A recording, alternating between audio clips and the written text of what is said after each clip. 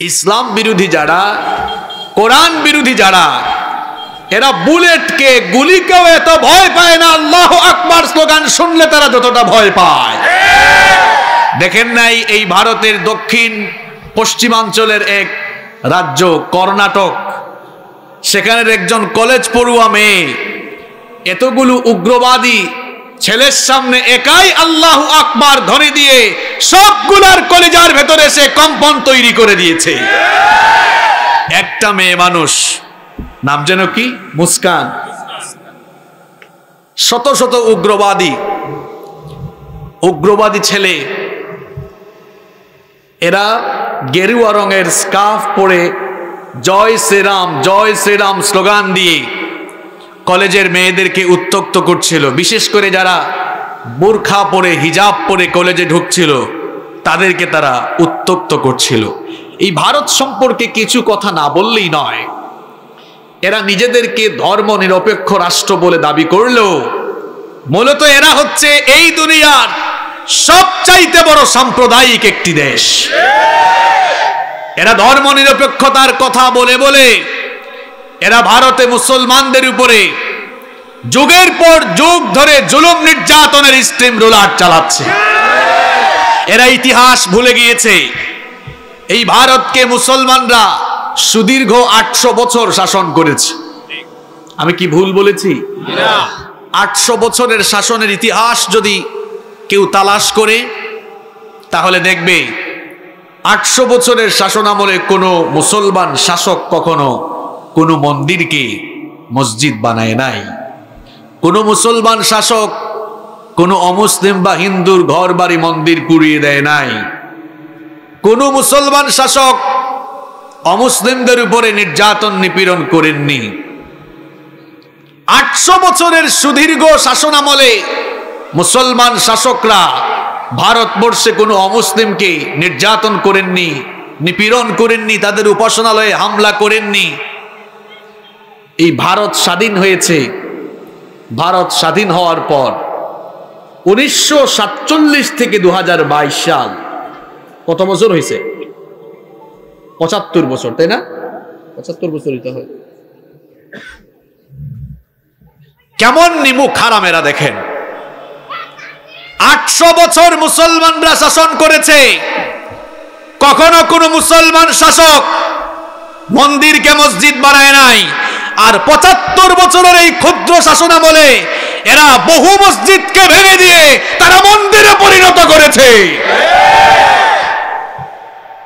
এই পঁচাত্তর বছরে তারা বিভিন্ন সময় সাম্প্রদায়িক দাঙ্গা চালিয়ে বিভিন্ন সময়ে ভারতবর্ষের ভারতবর্ষের মুসলমানদের উপরে তারা নির্যাতন, নিপীড়নের স্ট্রিম রুলার চালিয়েছে। এই গুজরাটে কি হয়েছে? সবাই এটা জানে। সবাই এটা জানে। মুসলমানদের মসজিদগুলোকে দখল করে করে তারা মন্দির বানিয়েছে, বাবরি মসজিদকে তারা ধ্বংস করে দিয়েছে। আটশো বছর মুসলমানরা ভারত শাসন করেছে, কখনো মুসলমানরা কোন অমুসলিমের গায়ে হাত তুলে নাই, মন্দির পুরায় নাই, এ থেকেই প্রমাণ হয়, মুসলমানরাই হচ্ছে দুনিয়ার সবচাইতে পরধর্ম সহিষ্ণু জাতি। আর এরা নিজেদেরকে ধর্ম নিরপেক্ষ দাবি করে করে যে ধরনের সাম্প্রদায়িক হামলা চালিয়েছে, এর মাধ্যমে তারা প্রমাণ করেছে এরা হচ্ছে পৃথিবীর সবচাইতে বর্বর আর নিকৃষ্ট জাতি। বিবস্ত্র হয়ে নারীরা চলাফেরা করলে সেটা যদি নারীর অধিকার হয়, তাহলে আমার যে সকল বোনেরা হিজাব করতে চায়, বুর্খা পড়তে চায়, তাদের সেই অধিকার হরণ করতে কে তোমাকে সাহস দিল? এদের উত্তরসূরি কিন্তু আমাদের দেশে অনেকে আছে। কলেজ বিশ্ববিদ্যালয়ে আমাদের দেশে অনেক বোনদেরকে দেখা যায় মাঝে মাঝে পত্র পত্রিকা খুললে আমাদের অনেক বোনরা কলেজে বিশ্ববিদ্যালয়ে পর্দা মেনটেন করতে গিয়ে হেনস্থার শিকার হয়। আছে এরকম? আছে। তো নারী যদি টাইট ফিট কাপড় পরিধান করে এই দেশে চলাফেরা করতে পারে। তাহলে আমার বোন আমার বোন, আমার মায়েরা, আমার বোনেরা, বোরখা পরে, হিজাব পরে, তারা এই দেশে চলাচল করবে, এটা তার সাংবিধানিক, নাগরিক এবং ধর্মীয় অধিকার। এই অধিকারে যারা হস্তক্ষেপ করবে, এরা রাষ্ট্রবিরোধী এবং ধর্ম বিরোধী কাজে লিপ্ত হবে। সম্মানিত সুধী এই দেশে তথাকথিত কিছু মানুষ বের হয়েছে।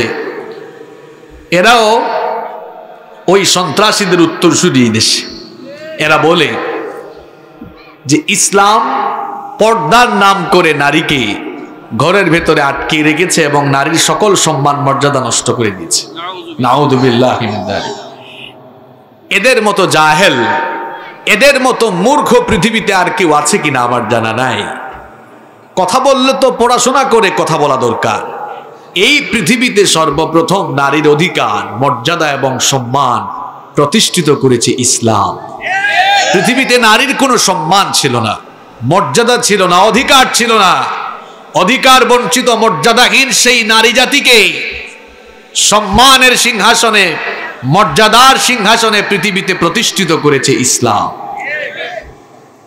আজকের এই মাহফিলে আসতে পেরে আপনারা খুশি না বেজার? পেছনের ভাইরা খুশি না? এই মাহফিলে আসতে পেরে সবাই খুশি না বেজার? কম না বেশি? আমরা খুশি পরিমাণেও বেশি। একটু জবান খুলে সকলেই পড়ি আল্লাহ আকবার। এই যে আল্লাহ আকবার আপনারা বললেন এটা কি জঙ্গিবাদী কোন স্লোগান? এটা কি উগ্রবাদী কোন স্লোগান? আল্লাহ আকবর হচ্ছে মুসলমানদের ইমানি চেতনার স্লোগান। আল্লাহ আকবর স্লোগান হচ্ছে বাতিলের সামনে মুসলমানদের কলিজা কাপায়া। আল্লাহ আকবার স্লোগান হচ্ছে বাতিলের সামনে ইমান দীপ্ত মুসলমানদের চেতনার স্লোগান। আল্লাহ আকবার স্লোগান শুনলে কিছু মানুষ ভয় পায়। কিছু মানুষ মনে করে এটা মনে হয় জঙ্গিবাদী স্লোগান। আল্লাহ আকবার স্লোগান দিয়ে কেউ যদি জঙ্গিবাদী কার্যক্রম করে, সে কারণে আল্লাহ আকবার স্লোগান জঙ্গিবাদী স্লোগান হয়ে যায় না। কারণ আল্লাহ আকবার স্লোগান এটি বদরের স্লোগান। আল্লাহ আকবার স্লোগান এটি উহুদের স্লোগান। আল্লাহ আকবার স্লোগান এটি নবী করিম সাল্লাল্লাহু আলাইহি ওয়াসাল্লাম এবং তার সাহাবীদের স্লোগান। এটি কখনো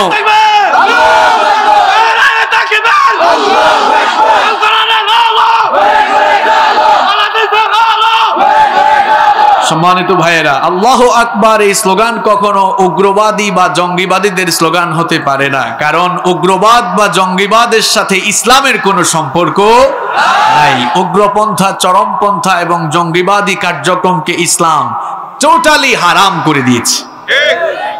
জঙ্গিবাদের সাথে ইসলামের কোনো সম্পর্ক নাই।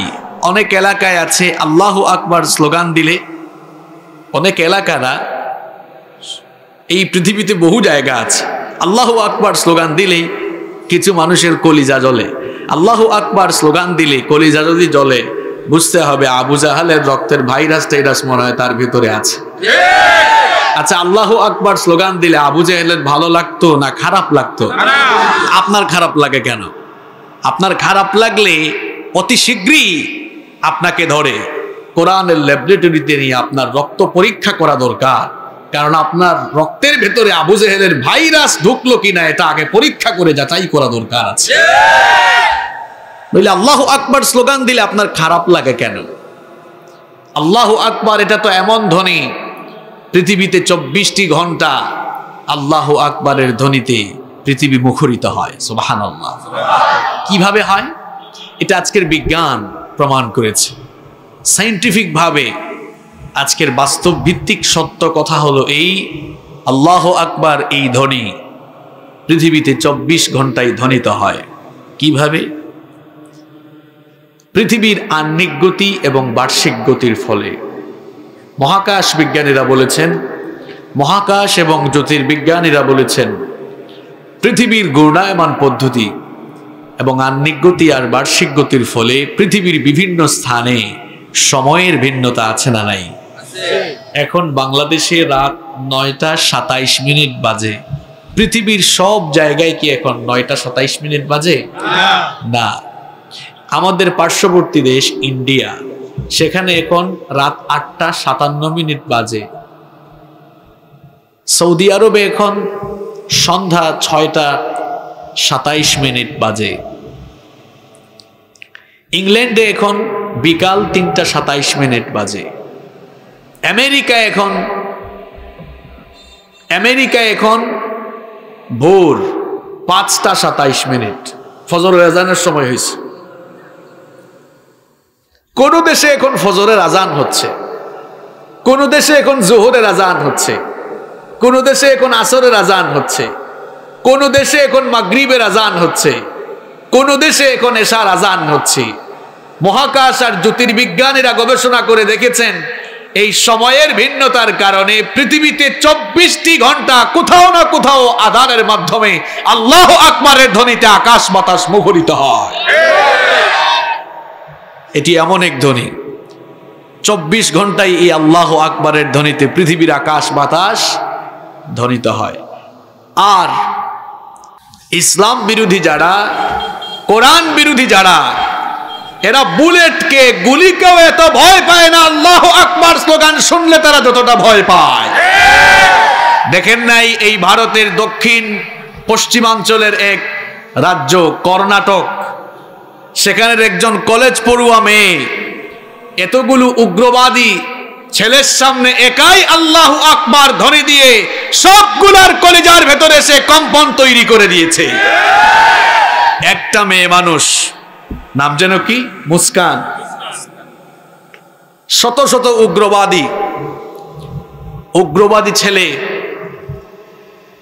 এরা গেরুয়া রঙের স্কার্ফ পরে জয় শ্রীরাম জয় শ্রীরাম স্লোগান দিয়ে কলেজের মেয়েদেরকে উত্তক্ত করছিল। বিশেষ করে যারা বোরখা পরে, হিজাব পরে কলেজে ঢুকছিল, তাদেরকে তারা উত্তক্ত করছিল। এই ভারত সম্পর্কে কিছু কথা না বললেই নয়। এরা নিজেদেরকে ধর্ম নিরপেক্ষ রাষ্ট্র বলে দাবি করলেও মূলত এরা হচ্ছে এই দুনিয়ার সবচাইতে বড় সাম্প্রদায়িক একটি দেশ। এরা ধর্ম নিরপেক্ষতার কথা বলে বলে এরা ভারতে মুসলমানদের উপরে যুগের পর যুগ ধরে জুলুম নির্যাতনের স্ট্রিম রোলার চালাচ্ছে। এরা ইতিহাস ভুলে গিয়েছে। এই ভারতকে মুসলমানরা সুদীর্ঘ আটশো বছর শাসন করেছে। আমি কি ভুল বলেছি? আটশো বছরের শাসনের ইতিহাস যদি কেউ তালাশ করে তাহলে দেখবে আটশো বছরের শাসনামলে কোনো মুসলমান শাসক কখনো কোনো মন্দিরকে মসজিদ বানায় নাই। কোনো মুসলমান শাসক কোনো অমুসলিম বা হিন্দুর ঘর বাড়ি মন্দির পুড়িয়ে দেয় নাই। কোনো মুসলমান শাসক অমুসলিমদের উপরে নির্যাতন নিপীড়ন করেননি। আটশো বছরের সুদীর্ঘ শাসনামলে মুসলমান শাসকরা ভারতবর্ষে কোনো অমুসলিমকে নির্যাতন করেননি, নিপীড়ন করেননি, তাদের উপাসনালয়ে হামলা করেননি। এই ভারত স্বাধীন হয়েছে। ভারত স্বাধীন হওয়ার পর উনিশশো সাতচল্লিশ থেকে দু হাজার বাইশ সাল কত বছর হয়েছে? পঁচাত্তর বছর তাই না? পঁচাত্তর বছর হইতে হয়। কেমন নিমুখ হারামেরা দেখেন? আটশো বছর মুসলমানরা শাসন করেছে। কখনো কোনো মুসলমান শাসক মন্দিরকে মসজিদ বানায় নাই। আর পঁচাত্তর বছরের এই ক্ষুদ্র শাসনামলে এরা বহু মসজিদকে ভেঙে দিয়ে তারা মন্দিরে পরিণত করেছে। এই পঁচাত্তর বছরে তারা বিভিন্ন সময় সাম্প্রদায়িক দাঙ্গা চালিয়ে বিভিন্ন সময়ে ভারতবর্ষের ভারতবর্ষের মুসলমানদের উপরে তারা নির্যাতন, নিপীড়নের স্ট্রিম রুলার চালিয়েছে। এই গুজরাটে কি হয়েছে? সবাই এটা জানে। সবাই এটা জানে। মুসলমানদের মসজিদগুলোকে দখল করে করে তারা মন্দির বানিয়েছে। বাবরি মসজিদকে তারা ধ্বংস করে দিয়েছে। আটশো বছর মুসলমানরা ভারত শাসন করেছে। কখনো মুসলমানরা কোন অমুসলিমের গায়ে হাত তুলে নাই, মন্দির পুরায় নাই। এ থেকেই প্রমাণ হয়, মুসলমানরাই হচ্ছে দুনিয়ার সবচাইতে পরধর্ম সহিষ্ণু জাতি। আর এরা নিজেদেরকে ধর্ম নিরপেক্ষ দাবি করে করে যে ধরনের সাম্প্রদায়িক হামলা চালিয়েছে, এর মাধ্যমে তারা প্রমাণ করেছে এরা হচ্ছে পৃথিবীর সবচাইতে বর্বর আর নিকৃষ্ট জাতি। বিবস্ত্র হয়ে নারীরা চলাফেরা করলে সেটা যদি নারীর অধিকার হয়, তাহলে আমার যে সকল বোনেরা হিজাব করতে চায়, বুরখা পড়তে চায়, তাদের সেই অধিকার হরণ করতে কে তোমাকে সাহস দিল? এদের উত্তরসূরি কিন্তু আমাদের দেশে অনেকে আছে। কলেজ বিশ্ববিদ্যালয়ে আমাদের দেশে অনেক বোনদেরকে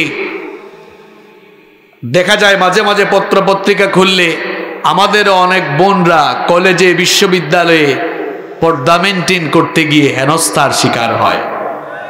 আছে এরকম? আছে। তো নারী যদি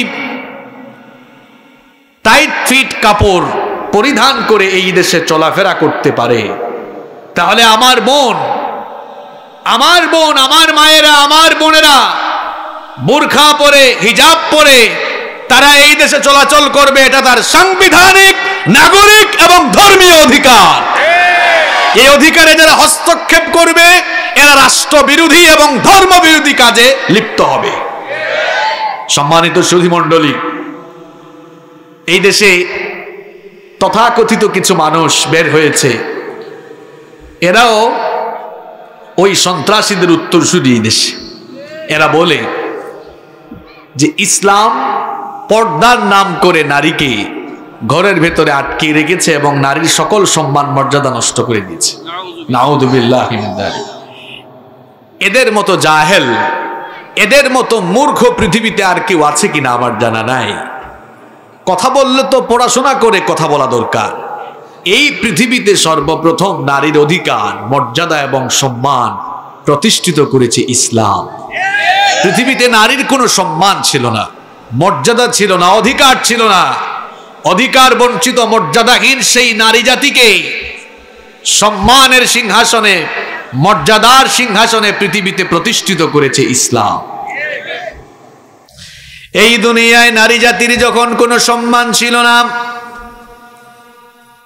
নারী জাতিকে যখন বাজারে মাছের মতো, পণ্যের মতো কেনা বেচা করা হতো কন্যা সন্তান জন্ম নিলেই, জন্মের সাথে সাথে যখন কন্যা সন্তানগুলোকে জীবিত অবস্থায় কবর দিয়ে ফেলা হতো, সেই সময়ে ইসলাম নারীর অধিকার কীভাবে প্রতিষ্ঠা করল, কীভাবে নারীর অধিকার মর্যাদা প্রতিষ্ঠা করল, এবার কোরআন থেকে আমি আপনাদেরকে সেই কথা শোনাই।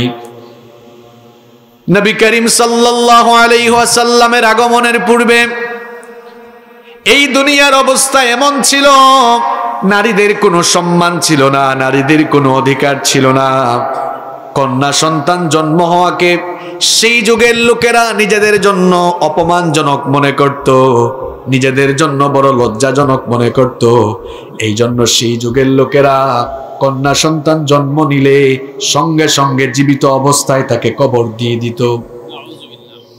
কি নিকৃষ্ট লোক ছিল তারা? এদের ধ্যান, ধারণা, চিন্তা, ভাবনা ছিল এই রকম তারা মনে করত, ছেলে সন্তান যদি হয়, এটাকে পেলে পুষে বড় করলে ভবিষ্যতে আমাদেরকে উপার্জন করে খাওয়াবে। আর তারা মনে করত, মেয়ে সন্তান এটিকে পেলে পুষে বড় করলে আমাদের কোনো লাভ নাই। সারা জীবন আমাদের উপর বোঝা হয়ে থাকবে। এরপরে আবার তাকে বিয়ে সাথে দিয়ে অন্যের ঘরে পাঠিয়ে দিতে হবে। এমন ধ্যান, ধারণা তারা পোষণ করত, তারা মনে করত পুত্র সন্তান জন্ম নিলে এটা উপার্জন করে খাওয়াবে, আর কন্যা সন্তান, এটাকে আমরা আরও উল্টা খাওয়ানো লাগবে। আমাদের জন্য বোঝা হয়ে যাবে। এই জন্য সেই যুগের নিকৃষ্ট লোকেরা কন্যা সন্তান জন্ম হওয়াকে নিজেদের জন্য অপমান কর, লজ্জা কর মনে করত। তার কারণে কন্যা সন্তান জন্ম নিলে সঙ্গে সঙ্গেই বাবা হয়ে নিজের মেয়েকে তারা জীবিত অবস্থায় কবর দিয়ে দিত।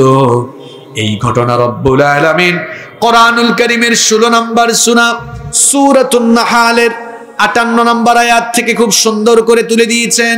وإذا بشر أحدهم بالأنثى ظل وجهه مسودا وهو كظيم يتوارى من القوم من سوء ما بشر به أيمسكه على هون أم يدسه في التراب ألا ساء ما يحكمون আল্লাহ তাআলা বলছেন যখন তাদের কানে কন্যা সন্তান জন্মের কোনো সংবাদ যেত এই সংবাদ শোনা মাত্রই তাদের চেহারা মলিন হয়ে যেত চেহারা কালো হয়ে যেত কন্যা সন্তান জন্মের সংবাদ পেলে তারা আত্মগোপনে চলে যাবে কিনা এমন চিন্তা ভাবনা শুরু করে দিত।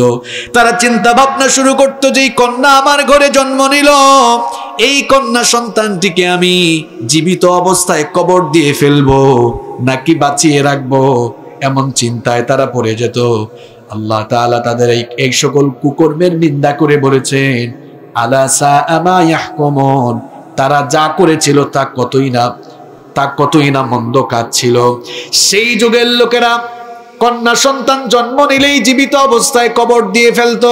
এই জন্য সুরা তাকবীরের মধ্যে আল্লাহ বলেছেন, কেয়ামতের দিন কেয়ামতের দিন সেই জীবিত কন্যা সন্তান, সেই কন্যা সন্তানগুলো যাদেরকে জীবিত অবস্থায় কবর দিয়ে ফেলা হয়েছিল, তাদেরকে আল্লাহ তালা কেয়ামতের মাঠে জিজ্ঞেস করবেন, ওয়া ইদাল মাউউদাতু সুইলাত বিআইয়ি যামবিন কুতিলাত? জিজ্ঞেস করা হবে কোন অপরাধে তোমাদেরকে হত্যা করা হয়েছিল? ভালো করে শোনেন আজ যারা নারী অধিকারের কথা বলে বলে, মানুষের চক্ষুকে আজ যারা নারী অধিকারের কথা বলে বলে মানুষকে ধোকা দিতে চায়, এই পৃথিবীতে ইসলামের আগে নারীর অধিকার কেউ প্রতিষ্ঠা করতে পারে নাই। ছোট্ট একটা ঘটনা আপনাদেরকে সোনানা দারেমি থেকে শোনাই। মনোযোগ আছে আপনাদের? ঘটনা একটা বলব? সোনানা দারেমি থেকে একটা ছোট্ট ঘটনা আপনাদেরকে শোনাই। নবী করিম সাল্লাল্লাহু আলাইহি ওয়াসাল্লামের সামনে এসে এক লোক বলল, ওগো আল্লাহর নবী, আমি কালেমা পড়ে মুসলমান হয়েছি, আমি ইমানদার হয়ে গিয়েছি। কালেমা পড়ে ইমানদার হয়ে যাওয়ার কারণে জাহিলি যুগে আমি যত গুনাহ করেছি, আমার সব গুনাহ কি আল্লাহ মাফ করে দিয়েছেন নাকি? নবীজি তখন বললেন, যেহেতু তুমি কালেমা পড়ে মুসলমান হয়ে গিয়েছো জাহিল যুগের সমস্ত গুনাহ আল্লাহ তোমার মাফ করে দিয়েছেন। লোকটা তখন বলল, ইয়া রাসূলুল্লাহ, পড়েন সাল্লাল্লাহু আলাইহি ওয়াসাল্লাম, আমি কালেমা পড়ে মুসলমান হয়েছি, ঠিক আছে, কিন্তু আমার এখনও কেন জানি সন্দেহ হচ্ছে। এমন একটি বড় ধরনের গুণা আমি করেছি, ওই গুণা আল্লাহ এখনও মাফ করেছেন কিনা আমার মনে সন্দেহ জাগে। এমন বড় একটি গুণাগের কাজ করেছি, জানি না আল্লাহ সেই গুণা মাফ করেছেন কিনা। নবীজি তখন তাকে বললেন, কি এমন গুণা করেছ যেই গুনাহের কারণে এখনও তুমি অনুতপ্ত? এখনও তুমি অনুতপ্ত হয়ে আছো? কি এমন গুণা করেছ? লোকটা তখন বলল, নবী গো, আমার ফুটফুটে সুন্দর একটা মেয়ে ছিল।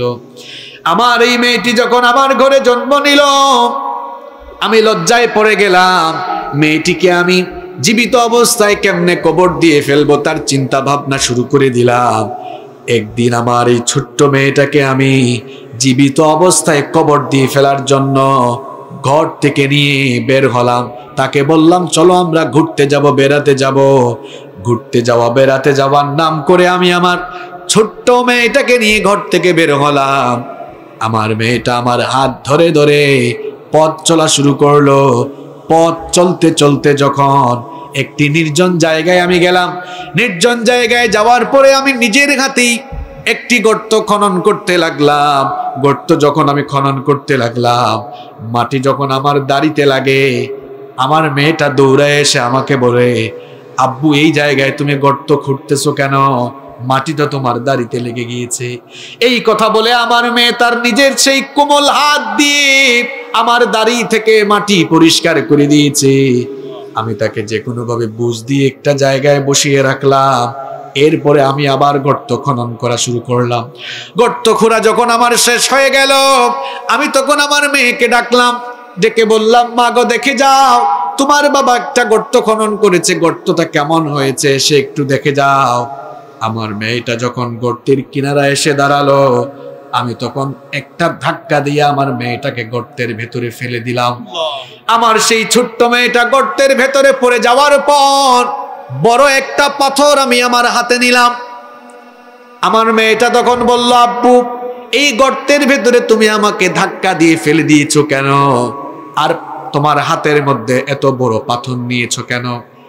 আমি তখন কোনো কথা না বলে যখন পাথরটা মারতে যাব, আমার মেয়ে বুঝে ফেলল যে আমি আমার মেয়েটাকে এখন হত্যা করতে যাচ্ছি। আমার মেয়েটা তখন চিৎকার করে বলল, আব্বু, আমি মেয়ে হয়ে জন্ম নিয়েছি বলে হয়তো তুমি লজ্জা ফিল করছ। আমাকে হত্যা করো না, আমাকে ছেড়ে দাও। সারা জীবন আমি একা একা বসবাস করব। তোমার সামনে এসে বাপ বলে পরিচয় দিয়ে তোমাকে লজ্জিত করব না। তারপরেও এমন নির্মম ভাবে আমাকে হত্যা করো না। আমার উপরে দয়া করো। লোকটা নবীজির সামনেই বর্ণনা দিচ্ছে, নবীজি শুনে শুনে চক্ষু থেকে পানি ঝরাচ্ছেন। হাদিসে এসেছে, নবীজির চক্ষু থেকে এত পানি গড়ালো। পানি পড়তে পড়তে নবীজির দাড়ি মোবারক ভিজে গেল। পাশে যে সকল সাহাবিরা ছিলেন, তারা বললেন এবার তুমি থেমে যাও এমন হৃদয় বিদারক ঘটনা নবীজির সামনে বলো না। নবীজি বললেন চুপ করো তাকে বলতে দাও। লোকটা তখন বলল নবী গো আমার মেয়ে কাকুতি মিনতি করে আমার কাছে যখন দয়া ভিক্ষা চাইলো বাপ হয়েও নিজের মেয়ের জন্য আমার হৃদয়ের মধ্যে একটু দয়া জাগলো না। বিশাল এই পাথরটা আমি তার বুকের উপরে ছুঁড়ে মারলাম। আর আমার মেয়েটা আব্বু আব্বু বলে চিৎকার দিল, তাও দয়া লাগল না। মাটি চাপা দিতে লাগলাম। নবীজিকে লোকটা বলল, নবী গো, এভাবেই আমি আমার জীবন্ত মেয়েটাকে আমি কবর আমি আমি আমার জীবন্ত মেয়েটাকে এইভাবে আমি মাটির নিচে পুঁতে ফেললাম, কবর দিয়ে দিলাম। ও গো আল্লাহর নবী, আমার এই গুনাহ আল্লাহ তালা মাফ করেছেন কিনা? নবীজি বললেন, যেহেতু তুমি তোমার কুকর্মের জন্য লজ্জিত হয়েছো, সেহেতু আল্লাহ তোমার গুনাহ মাফ করে দিবেন। যেহেতু তুমি কালেমা পড়ে মুসলমান হয়েছ, এই ঘটনা কি কারণে আপনাদেরকে শোনালাম? কারণ হলো, যেই যুগে নারীর ইজ্জত ছিল না, সম্মান ছিল না, মর্যাদা ছিল না, যখন কন্যা সন্তান জন্ম নিলেই, কন্যা সন্তান জন্ম নিলেই যখন বাবা হয়ে বাবারা পর্যন্ত নিজের মেয়েকে জীবিত অবস্থায় কবর দিয়ে ফেলতো। সেই যুগে যখন নবীজির আগমন হলো, ইসলাম আসার পরে ইসলাম নারী জাতির অধিকার কেমনে প্রতিষ্ঠা করল এবার শোনেন। যে কন্যা সন্তানকে মানুষেরা তাদের জন্য অপমান করে মনে করত। নবীজি নবুয়ত পাওয়ার পরে দিনের দাওয়াত যখন শুরু করলেন, নবীজি সেই যুগের বড় মানুষদের সামনে ঘোষণা করলেন, মেয়ে সন্তানকে তোমরা নিজেদের জন্য লজ্জাজনক মনে করো না। বরং মেয়ে সন্তানকে তোমরা তোমাদের জন্য রহমত স্বরূপ মনে করো। কারণ আল্লাহ তালা বলেছেন, নবীজির হাদিসে এসেছে, নবীজি শোনায় দিলেন। নবীজি বলেছেন, ইদা উলিদালির রাজুলু ইবনাতান বাতাল্লাহু আজ্জা ওয়া জাল্লা মালাইকা। নবীজি বলেছেন, যখন কোনো ঘরে কোনো কন্যা সন্তান, মেয়ে সন্তানের জন্ম হয় ওই মেয়ে সন্তানের জন্ম হওয়ার সঙ্গে সঙ্গে ওই ঘরের মধ্যে আল্লাহ তাআলা রহমতের ফেরেস্তা পাঠিয়ে দেয়। আমি আজ পর্যন্ত কোনো হাদিস এমন পাই নাই, কোনো হাদিস আজ পর্যন্ত পাই নাই যে ছেলে সন্তানের জন্ম হলে আল্লাহ সাথে সাথে রহমতের ফেরেস্তা পাঠায় আকবার। আমাদের মুসলমানদের সমাজেও অনেক বাবারা আছেন, অনেক ভাইয়েরা আছেন কন্যা সন্তান জন্ম দিলে মুখ কালো করে ফেলে। আমি তাদেরকে বলছি, শুনেন, কন্যা সন্তান পাওয়া এটা বড় সৌভাগ্যের ব্যাপার। কন্যা সন্তান হলো রহমত আর প্রাচুর্যের প্রতীক। কন্যা সন্তান যিনি পাবেন, তিনি আল্লাহর তরফ থেকে স্পেশাল রহমতার বরকত লাভ করবেন। কেমনে রহমত আর বরকত লাভ করবেন? হাদিসটা ভালো করে শোনেন। নবীজি বলেছেন, যখন কোনো ঘরে একটা কন্যা সন্তানের জন্ম হয়, আল্লাহ তাআলা সঙ্গে সঙ্গে ওই ঘরের মধ্যে রহমতের ফেরেশতা পাঠিয়ে দেন। রহমতের ফেরেশতারা সেই ঘরে আসে। আসার পরে কি করে শুনেন? নবীজি বলেছেন, ইয়াকুলুনা আসসালামু আলাইকুম ইয়া আহলাল বাইত। রহমতের ফেরেশতারা এসে ঘরবাসী মানুষদেরকে সালাম দেয়। সালাম দেওয়ার পরে তারা কি করে এবার শোনে? ইয়াকতানিফুনাহা বিআজনিহাতিহিম ওয়া ইয়ামসাহুনা বিআইদিহিম আলা রাসিহা। বলেছেন, সেই রহমতের ফেরেশতারা ঘরবাসী মানুষকে সালাম দিয়ে রহমতের ফেরেশতারা নবজাতক ওই কন্যা সন্তানের মাথায় হাত বুলিয়ে দেয়। কন্যা সন্তানের মাথায় হাত বুলিয়ে দিয়ে বলতে থাকে ضعيفة خرجت من ضعيفة القيم عليها معان إلى يوم القيامة ফেরেশতারা বলতে থাকে দুর্বল একটি জিনিস থেকে আরেকটি দুর্বল জিনিসের পয়দা হয়েছে এই কন্যা সন্তানটিকে যারা আদর স্নেহ মমতা ভালোবাসা দিয়ে প্রতিপালন করবে আল্লাহ ওয়াদা করেছেন আল্লাহ তাআলা আল্লাহ তাআলা ওই লোকদেরকে কামত পর্যন্ত সাহায্য করবে কন্যা সন্তান যখন কোন ঘরে জন্ম নেয়, সঙ্গে সঙ্গে রহমতের ফেরেশতা ওই ঘরে নাজিল হয়। এবং কন্যা সন্তান যে আল্লাহর কত বড় রহমত, কন্যা সন্তান পাওয়া কত বড় সৌভাগ্যের ব্যাপার এবার শোনেন। নবীজি বলেছেন, মান আলা মান আলা আনা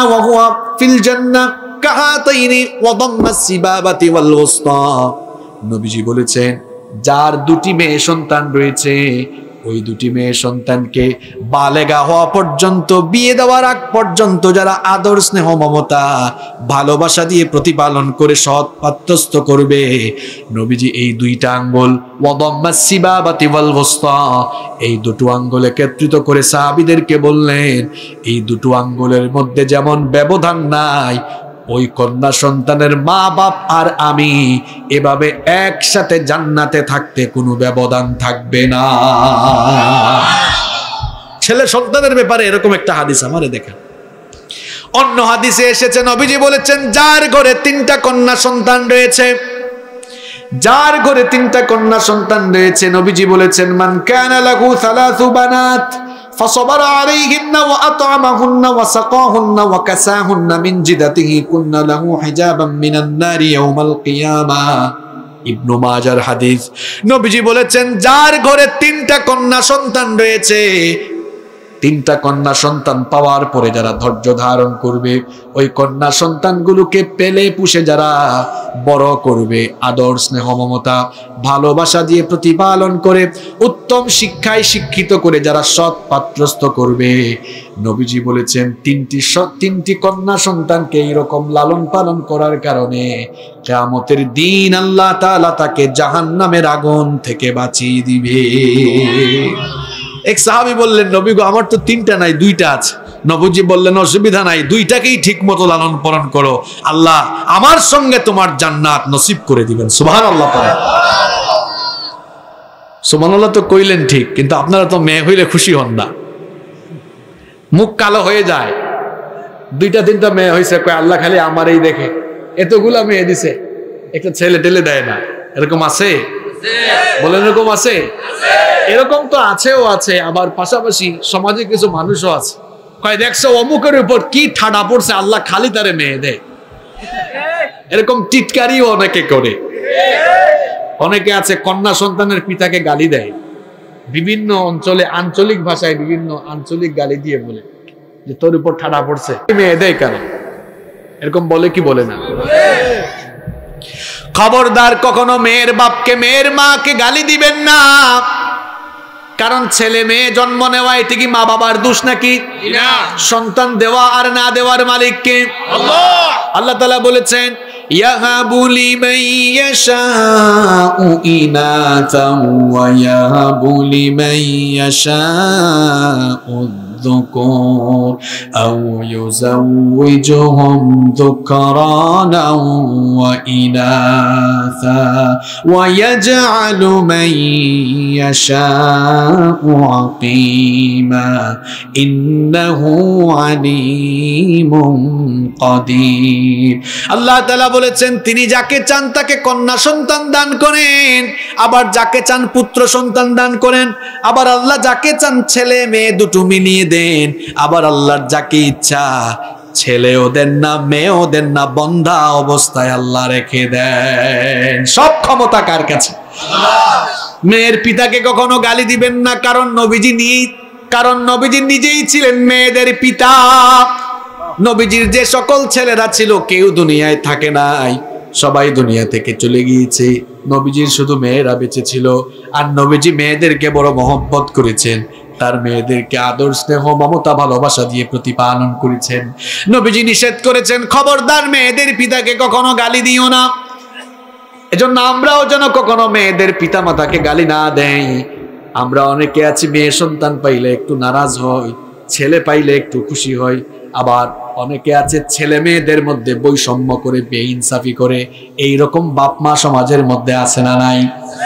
প্রথমে মেয়ে একটা হয়েছিল খুব আদর করত, কুলে নিত। আদর করত। এরপরে যখন ছেলে হয়ে গেছে, ছেলেকে কুলে নিতে নিতে অবস্থা শেষ। আর মেয়েকে কুলে নেয় না। বলেন, এই চিত্র কি সমাজে আছে? আছে। এই যে বৈষম্য, এই বৈষম্য কি ইসলাম করেছে নাকি মানুষ করেছে? দেখা যায় খাবার খেতে বসেছে। ছেলেকে সব সময় মাছের মাথা দেয়, মুরগির রান দেয় লেগ পিস দেয়। আর মেয়েকে সব সময় হাড্ডি গুড্ডি এগুলা দেয়, মাছের লেজ দেয়। থাকলে মাছের লেজ দেয়, না থাকলে ওইটাও দেয় না। আছে এরকম। এই বৈষম্য কি ইসলাম করেছে? না, এটা আপনারা করেছে নবীজি বলেছেন, খবরদার ছেলে মেয়ে লালন পালনে কখনো বেইনসাফি করো না, বৈষম্য করো না।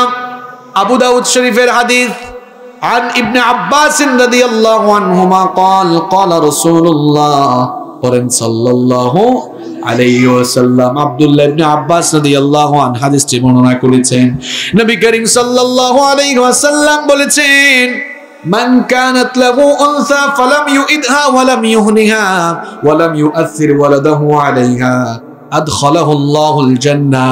নবীজি বলেছেন, যার ঘরে কন্যা সন্তান রয়েছে, ওই কন্যা সন্তানকে, ওই কন্যা সন্তানের চাইতে যারা পুত্র সন্তানকে প্রাধান্য দেয় না, ওই কন্যা সন্তান জন্মের পরে যারা জীবিত অবস্থায় পুঁতে ফেলে না, অর্থাৎ কবর দিয়ে ফেলে না, ওই কন্যা সন্তানটিকে যারা আদব শেখায়, দিন শেখায় পুত্র সন্তান, কন্যা সন্তান লালন পালনের যারা বেইনসাফি করে না, নবীজি বলেছেন, আল্লাহ ওয়াদা করেছেন ওই মা বাপকে আল্লাহ জান্নাতে প্রবেশ করাবে।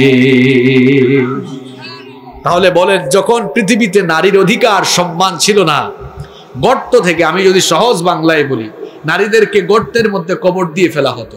ওই গর্ত থেকে উঠায়া পৃথিবীতে নারীকে মর্যাদার সিংহাসনে ইসলাম ছাড়া অন্য কেউ বসায় নাই।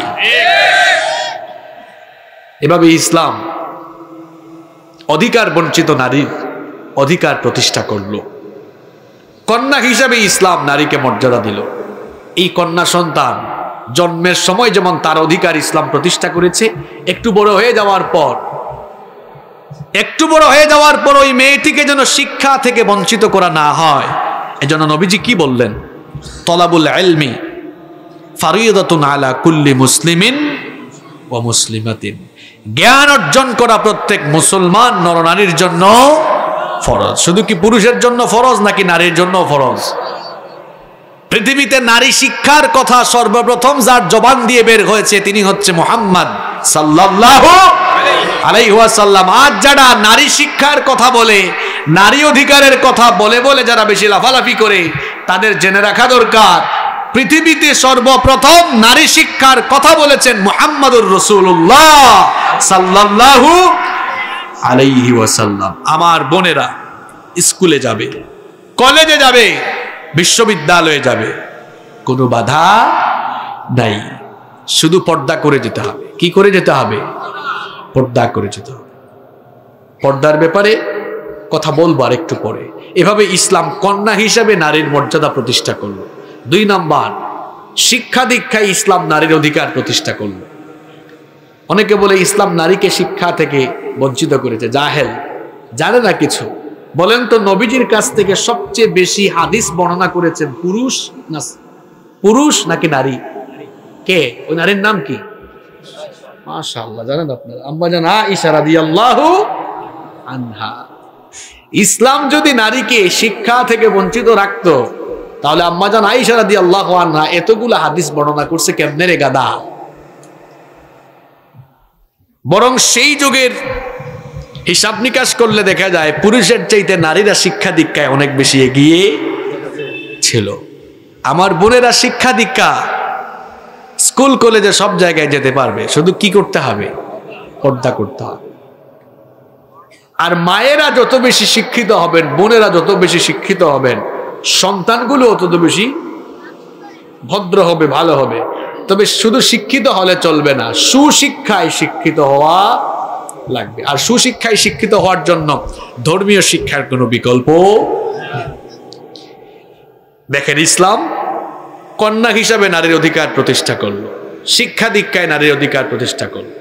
এই মেয়েটা জন্ম নেওয়ার পরেই অধিকার পাইল, মর্যাদা পাইল। মর্যাদা দিয়েছেন কে? আরেকটু জোরে বলেন। শিক্ষা দীক্ষায়ও নারীর অধিকার, মর্যাদা দিলেন কে? পড়াশোনা করে করে বিয়ের বয়স হয়ে গেছে। বিয়ে শাদী তো নারীর অধিকার কে দিয়েছে? ইসলাম দিয়েছে, আল্লাহ দিয়েছেন, নবীজি দিয়েছেন।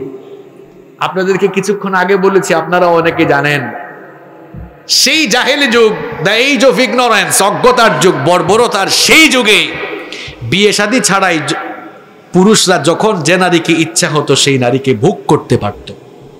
ইসলাম আসার পরে নারীর অধিকার কেমনে প্রতিষ্ঠা করল দেখেন। আল্লাহ তাআলা জানিয়ে দিলেন, যখন যেই নারীকে ইচ্ছা, সেই নারীকে ভোগ করতে পারবা না। নারীদেরকে পণ্যের মতো ব্যবহার করতে পারবা না। নারী পুরুষের কোনো পণ্য নয়। বরং আল্লাহ তাআলা বিয়ে শাদির ক্ষেত্রে নারীকে এমন মর্যাদা দিলেন একজন পুরুষ চাইলেই একজন নারীকে ভোগ করতে পারবে না। আল্লাহ তালা নিকাহের ব্যবস্থা করে দিলেন, বিয়ে শাদিকে ফরজ করে দিলেন। বিয়েতে মোহর আনার মাধ্যমে একজন নারী আপনার জন্য হালাল হবে, এছাড়া কোনো নারী আপনার জন্য হালাল হবে না। দেখেন অজ্ঞতার সেই যুগে, বর্বরতার সেই যুগে মোহর আনার কথা বাদ দেন। নারীদেরকে পুরুষ যখন ইচ্ছা তখন ধরো ধরো এনে ভোগ করত। অধিকার বঞ্চিত সেই নারী জাতিকে ইসলাম কেমনে? ইসলাম কেমনে তাদের অধিকার প্রতিষ্ঠা করল? কেমনে আল্লাহ তাদের মর্যাদা দিলেন? এবার শোনেন। কোরআনুল করিমের চার নাম্বার সুরা, সুরাতুন নিসা। সুরাটাও মহিলার সুরা। আল্লাহ তালা মহিলাদের নামে কোরআনে একটা সুরা দিয়েছেন। সুরার নাম সুরাতুন নিসা। কিন্তু সুরাতুর রিজাল পুরুষদের নামে কি কোনো সুরা আছে নাকি? পুরুষের জন্য কোনো সুরা নাই। মহিলার জন্য যে সুরা, সুরাতুন নিসা, এর চার নাম্বার আয়াতে আল্লাহ কি বললেন এবার শুনেন? ওয়া আতুন নিসা সাদুকাতিহিন্না নিহলা, ফাইন তিবনা লাকুম আন শাইইন মিনহু নাফসান ফাকুলুহু হানিআম মারিআ আল্লাহ তাআলা বলছেন, নারীদেরকে তাদের প্রাপ্য মোহরানা দাও। মোহরানার আগ পর্যন্ত ওই নারী তোমার জন্য হালাল নয়। আদেশটা কার? নারীদেরকে পুরুষেরা ভোগ করত?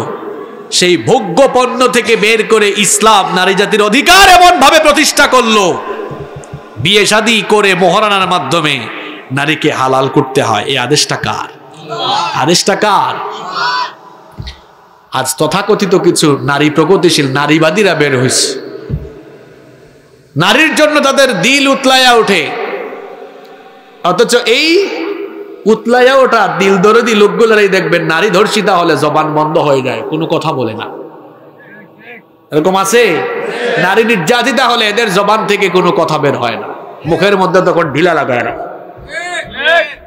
এই হচ্ছে এদের অবস্থা। এভাবে ইসলাম, নারীতে ইসলাম বিয়ে শাদিতে নারীর অধিকার প্রতিষ্ঠা করল। এবার বিয়ে শাদী করার পরে আপনি ওই নারীকে দাসীর মতো বান্দির মতো ওই নারীর সাথে আচরণ করতে পারবেন সুবহানাল্লাহ ইসলাম দেখেন কত ভাবে নারীর মর্যাদা দিল। প্রথমে দিল কন্যা হিসাবে। শুনতেছেন আপনারা? না ঝিমাইতেছেন প্রথমে দিল কি হিসাবে? আরেকটু জোরে বলেন। এই পাশের লোকরা কথা বলে না। প্রথমে কি হিসাবে দিল? কন্যা হিসাবে। দুই নাম্বার কি বলেছিলাম? কোন পয়েন্ট বলছিলাম? খায়া ফেলছে। হ্যাঁ। শিক্ষা শিক্ষা দীক্ষায় নারীর অধিকার দিল। পয়েন্ট মনে রাখতে হবে। এক নাম্বার, নারী জন্ম নিলেই পুঁতে ফেলা হইতো। ঘটনা শুনেছেন একটা? ওইখান থেকে ইসলাম নারীকে কন্যার মর্যাদা দিল। এরপরে শুধু মর্যাদাই দিল না, তাকে উত্তম শিক্ষায় শিক্ষিত করা লাগবে। শিক্ষা দীক্ষায় ইসলাম নারীকে অধিকার দিল। কয় নাম্বার পয়েন্ট দুই। তিন নাম্বার, নারীকে পণ্যের মতো ভোগ করা যাবে না। মোহরানা দিতে হবে।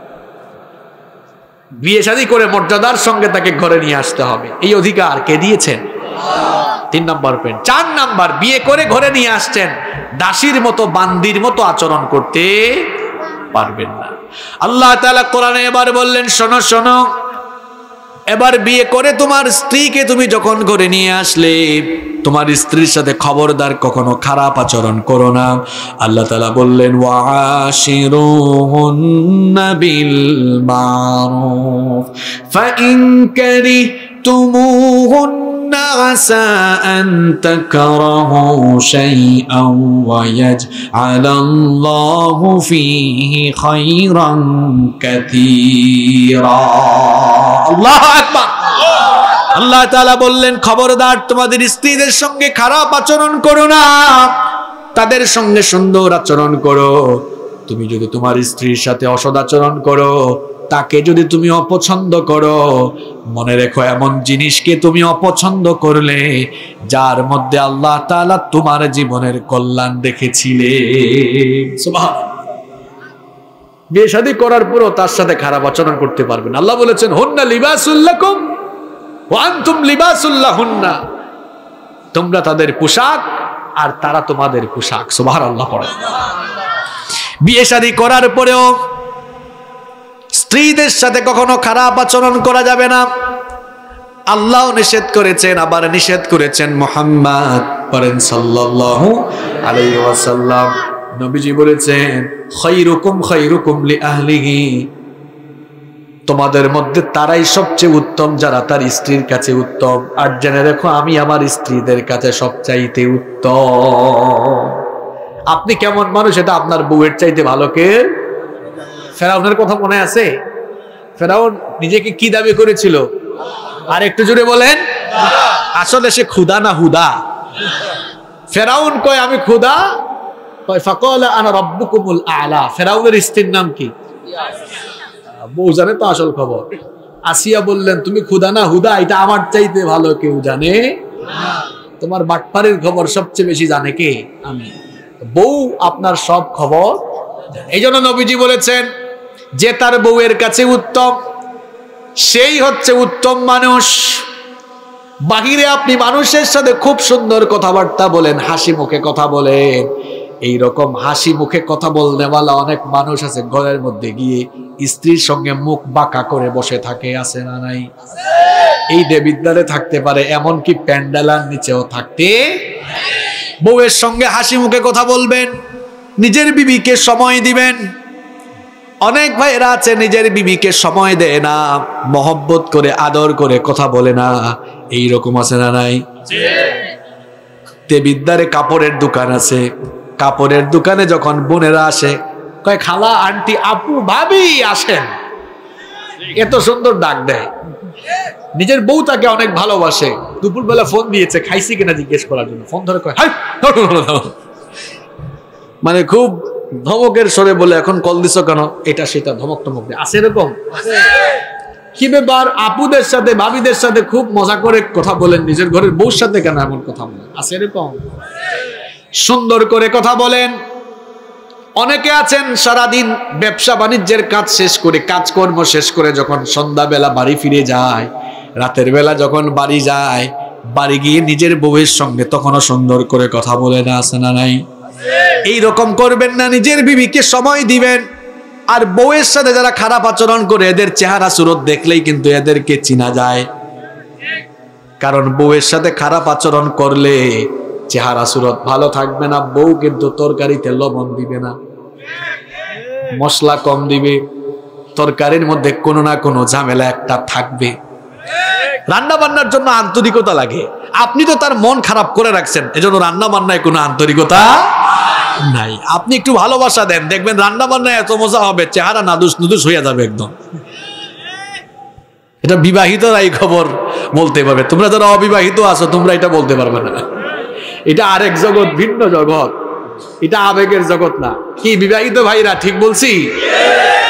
যেদিন বউয়ের জন্য একটু গিফট নিয়ে যাবেন, দেখবেন ওই দিন আর তার পরের দিনের রান্নাটা কত মজা হয়।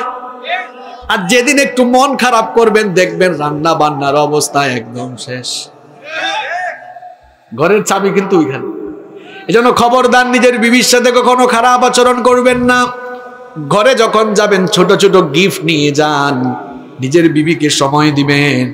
এই যে নারীর কোনো অধিকার ছিল না, মর্যাদা ছিল না, সম্মান ছিল না, দেখেন একেবারে জন্মের পর থেকে নিয়ে ইসলাম নারীকে কত সম্মান দিল। শুনতেছেন আপনারা? একেবারে জাগা মতো আসছে কিন্তু, শুনেন। দেখি তো প্রথম পয়েন্টটা কে মনে রাখছেন? ইসলাম নারীকে কি হিসাবে মর্যাদা দিল? আর একটু জোরে বলেন। কন্যা। এই কন্যা শুধু কন্যা হিসাবে মর্যাদা পেল না। দুই নম্বরে ইসলাম নারীকে কোন জায়গায় অধিকার দিল? শিক্ষা দীক্ষা নিয়ে এবার বড় হয়ে গেল। এবার নারীকে এমনি এমনি ভোগ করা যাবে না। বিয়ে শান্তির ব্যবস্থা করেছেন। তাহলে বিয়ের ক্ষেত্রেও ইসলাম নারীর অধিকার। প্রতিষ্ঠা করল, মহারানার ব্যবস্থা করল। আর এই মহারানার কথা, একটা কথা তো ভুলেও গেছি। বলব না না খাওয়া যা উঠাইছেন আপনারা। যাই হোক, আপনারা অনেকে খান নাই, তাই না? এই মহারানা নিয়ে যে কত তামাশা আমাদের দেশে। মহারানা নগদ নাই, বাকিতে আছে না? আরে বাপরে বাপ, বিয়ের আসরে কয় মহারানা? বিশ লাখ, তিরিশ লাখ, বিশ পয়সাও কিন্তু নগদ দেয় কেমন বাটফারি দেখছেন? আর আপনারা সমাজে বিয়ে শাদীকে এত কঠিন করে রাখছেন, এই মিসকিন ছেলেগুলো। মিসকিন কেনা? যারা বিয়ে করেন এখনও। এই মহারানার ভয়ে এই ছেলেগুলা বিয়ে করার সাহসও করতে পারে না। আরে বাপরে বাপ, তোমাদের যে চার্জ আসলো হঠাৎ করে এনার্জি বেড়ে গেছে। বিয়ের কথা শুনলে অবিবাহিতরা খুব খুশি হয়, তাই না? এটা ভালো লক্ষণ না খারাপ লক্ষণ? হ্যাঁ ভালো লক্ষণ। কেন ভালো লক্ষণ? কারণ আমার দেশের সোনার ছেলেরা, এরা জেনা করতে চায় না, এরা বিয়ে করতে চায়। আর আপনারা বিয়ে শাদীকে কঠিন করে রেখেছেন। আপনারা যদি বিয়ে শাদীকে কঠিন না করে, বাবারা যদি এই কাজ করতেন, বাবারে, আসছো আমার মেয়ে বিয়ে করতে। তোমার সামর্থ্যের আলোকে যেভাবে মহারানা দিতে পারো, দাও। কোনো অসুবিধা না, তিরিশ লাখ, চল্লিশ লাখ দিতে হবে। হ্যাঁ কুটিও আছে নাকি? মোটর সাইকেল এটা কি এই দেবিদ্বারে আছে না এই রূপ? আচ্ছা শোনেন, এই রোগটা আমার এলাকায়ও আছে কিছু কিছু। আমি একবার এক বিয়ে খাইতে গেছি। বলতেছি বলতেছি আমি গেছি বিয়ে খাইতে। এখন জামাই কয় কয় মোটর সাইকেল না দিলে আমি কিন্তু বিয়ে করব না। আমিও সেখানে উপস্থিত ছিলাম। আমি বললাম, হে যেহেতু মোটর সাইকেল না দিলে বিয়ে করবে না তাহলে আর মেয়ে বিয়ে করার কি দরকার? শাড়ি দিয়ে মোটর সাইকেল দে পেছায়া মোটর সাইকেল তার কাছে বিয়ে দেন। হ্যাঁ মোটর সাইকেল নিয়ে থাকুক আবার অনেকে খুব চালাক। বিয়ের সময় মেয়ের বাপ জিগাইছে যে বিয়াই সাহেব, কি দেওয়া লাগবে? কয়, না, কিছু চাইব না। কিছুই দেওয়া লাগবে না, খুশি হয়ে যা দেন আর কি। খুশি হয়ে? এটা কিন্তু মারাত্মক এক মতলবের কথা। খুশি হয়ে যা দেন। পরে যখন কিচ্ছু না দেয় মেয়েটা ঘরে আসার পরে যে কি অত্যাচার তার উপর নীরবে নীরবে চালায়।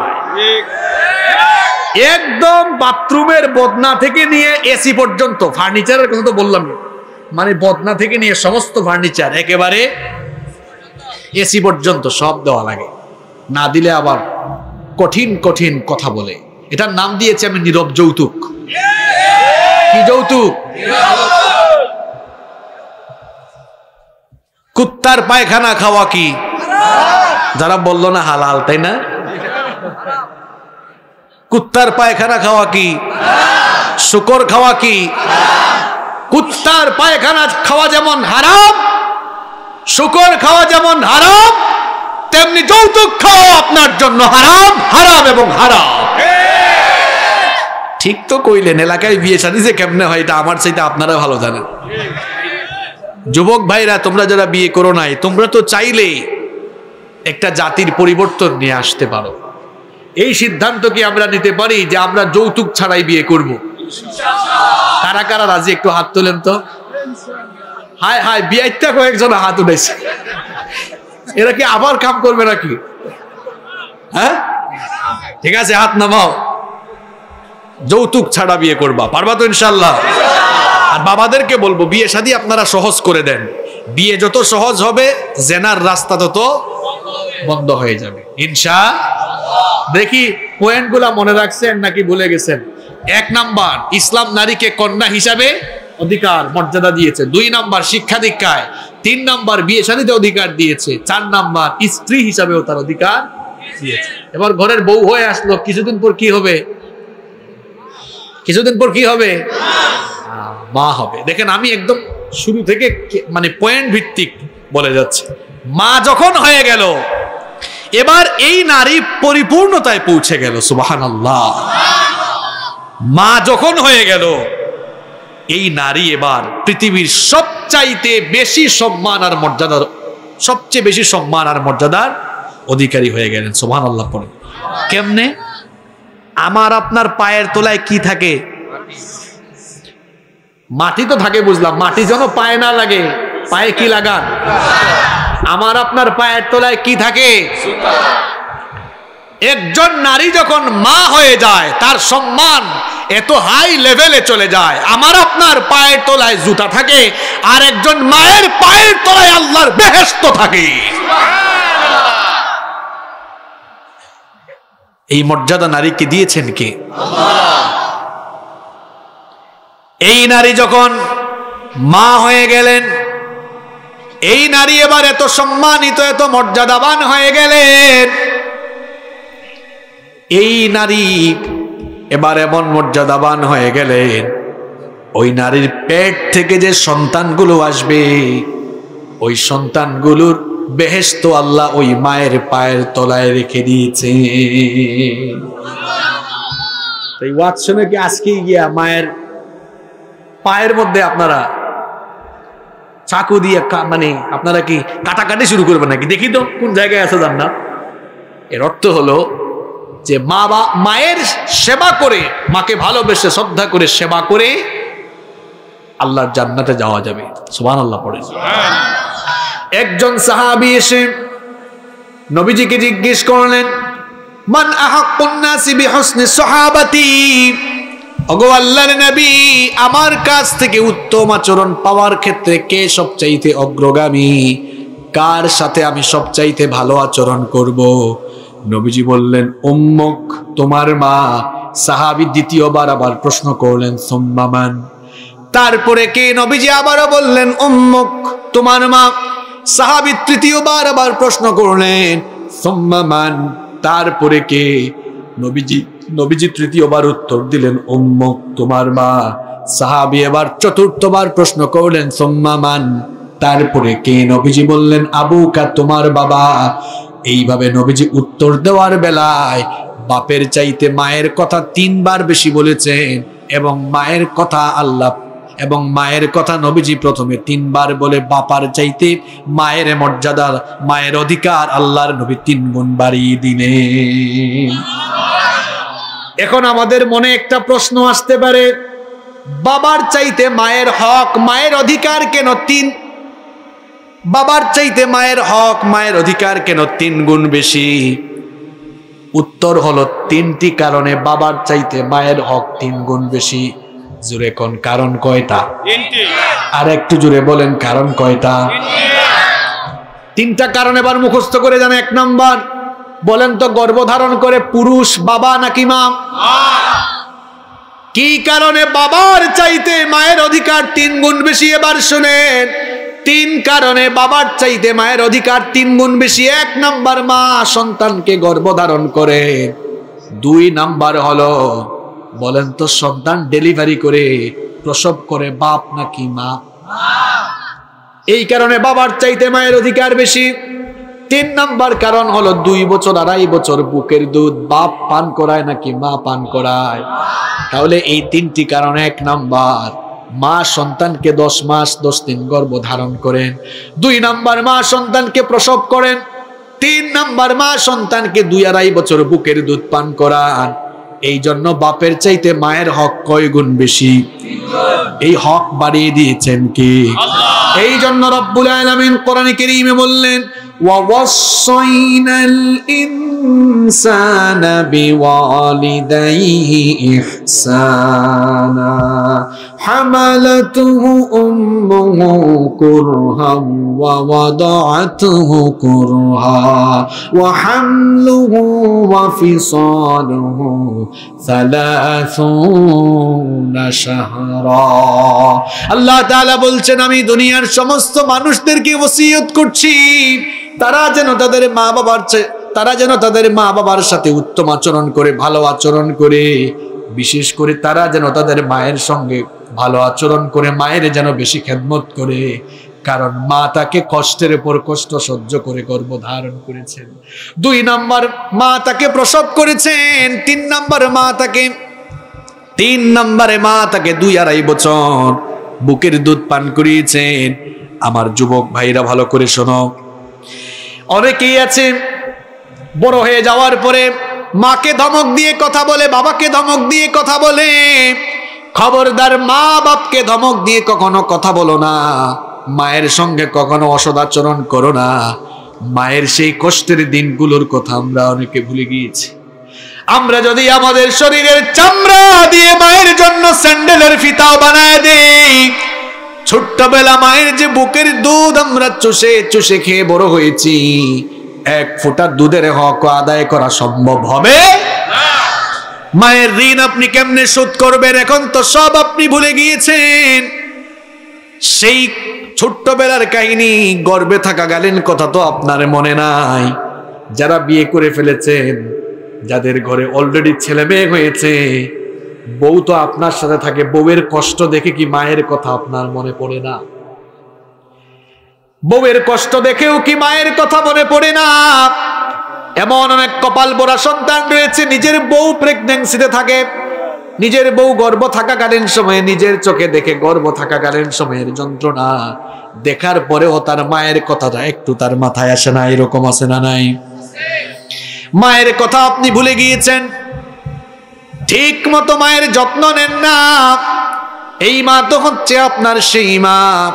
ওই মা আপনাকে একদিন আর দুই দিন নয়।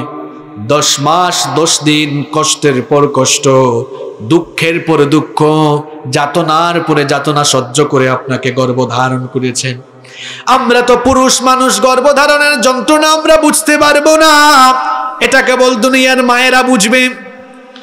এই যে এখন শীতের দিন চলছে, শীতের রাতগুলোতে দুনিয়ার মানুষগুলো ল্যাপ কম্বল গায়ে দিয়ে বড় আরাম করে ঘুমায়। কিন্তু গর্ভবতী মা আরাম করে ঘুমাইতে পারে না। আমরা যখন আমাদের মায়ের পেটে ছিলাম, গভীর রাতে যখন সন্তান মায়ের পেটে নড়াচড়া করে, হাত পা দিয়ে গুতাগুতি আরম্ভ করে দেয়, মায়ের তখন কলিজা ছেড়া বেদনা শুরু হয়ে যায়। সেই কলিজা ছেড়া বেদনা যন্ত্রণা সইতে না পেরে আরামের ঘুমটা ভেঙে যায়। মা তখন বাসার বেলকুনি কিংবা বারান্দায় গিয়ে একা একা নীরবে নীরবে চোখের পানি ঝরায়। অথবা বালিশের সঙ্গে মাথা লাগিয়ে ব্যথা সহ্য না না করতে পেরে চোখের পানি ঝরায়। ওই যে রাতের বেলা নীরবে নিবৃতে মা চোখের পানি ঝরিয়েছে। ওই চোখের পানিগুলো আল্লাহ ছাড়া আর কেউ দেখে না। ওই মায়ের সঙ্গে আপনি খারাপ আচরণ করেন, কণ্ঠ উঁচু করে কথা বলেন। ধমক দিয়ে কথা বলেন, জিরকি দিয়ে কথা বলেন, অসুস্থ মাকে আপনি চিকিৎসা করান না। ওই মায়ের কথা আপনি ভুলে গিয়েছেন, কোন মা? যেই মা আপনাকে একদিন, দুই দিন নয়, দশ মাস, দশ দিন গর্ভধারণকালীন সময়ে এত যন্ত্রণা, এত কষ্ট সহ্য করেছে, শুধু রাতের বেলা নয়, দিনের বেলাও আপনাকে পেটে নিয়ে সাংসারিক সকল কাজ করেছে। সাংসারিক সকল কাজ শেষ করে ঘরের সবাইকে খাওয়ানোর পরে ক্ষুধা পেটে মা যখন খাবার খেতে বসে মায়ের তখন বমি বমি ভাব সৃষ্টি হয়ে যায়।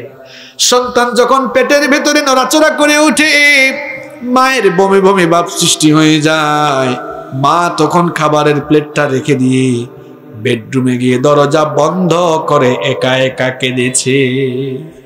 সেই কথাগুলো আপনার মনে নাই? এইভাবে দিনের পর দিন, রাতের পর রাত মা কষ্ট, যন্ত্রণা সহ্য করে করে আপনাকে গর্ভধারণ করেছে।